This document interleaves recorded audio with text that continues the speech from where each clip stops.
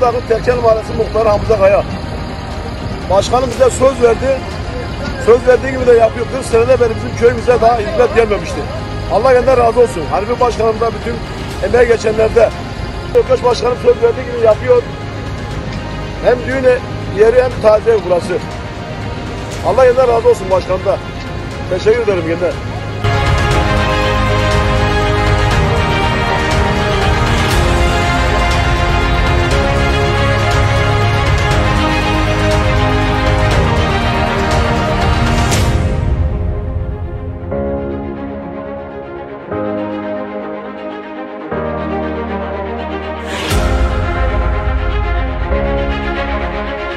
Thank you.